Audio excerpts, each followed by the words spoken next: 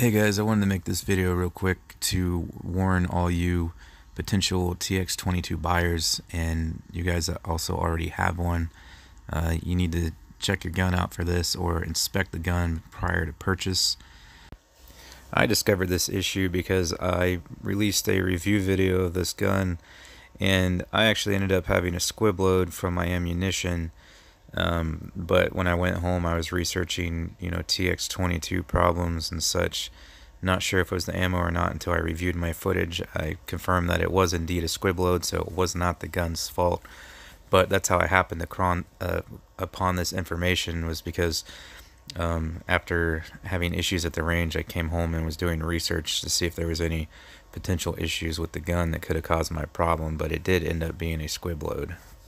Uh, basically, what has occurred is, uh, from what little information I could find online through searching forums and such, um, the early TX22s had an issue with the barrel, uh, namely with tooling marks and chatter marks in the rifling that would uh, cause extreme lead fouling to where the gun would just basically not shoot worth a crap in no time after a hundred rounds or so and it was impossible to clean all the lead out because it was so caked up in the barrel. So those tooling marks and imperfections in the barrel caused that. Uh, there was another instance of uh, uneven rifling. Uh, showed pictures of all this at the end, but um, if you're going to go buy a TX22 or you're thinking about buying one, you want to go to a local gun store and not order it online because you want to check the barrel for these imperfections to make sure you get a good one.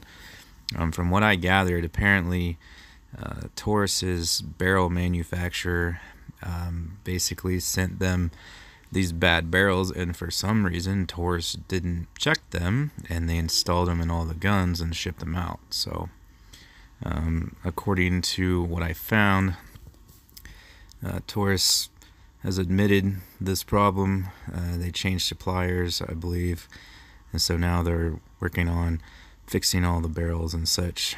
So here's what you want to look for before you buy one of these or if you already have one take a look at yours and make sure that you don't have this issue.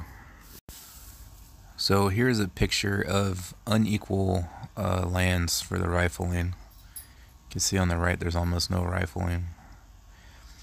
Here is a picture of the chatter marks um, that basically strips the lead off of the bullet as it goes down the barrel.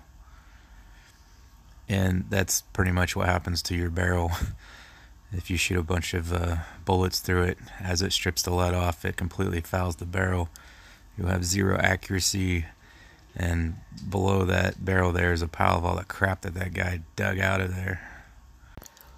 So basically, the inside of the barrel should look nice and smooth and sometimes even shiny. Basically, there should be no scratches or tooling marks or anything like that. Now, there may be some streak marks if they fired it from the factory um, from a little bit of copper or lead fouling. So, streak marks are going to be somewhat normal. You just want to make sure there's no gouges in the barrel or anything like what you see pictured. Um, here's an example of what a barrel should look like. So, this is just a barrel out of one of my Glocks, just as an example.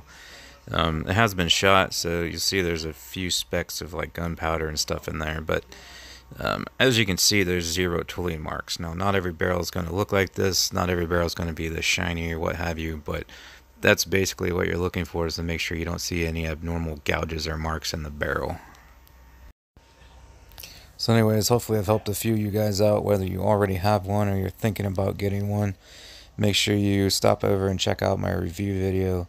Uh, please hit the like button for me. Leave me a comment. Tell me what you think. If you have any experience with this, also um, subscribe. Thanks for watching, guys. Appreciate it.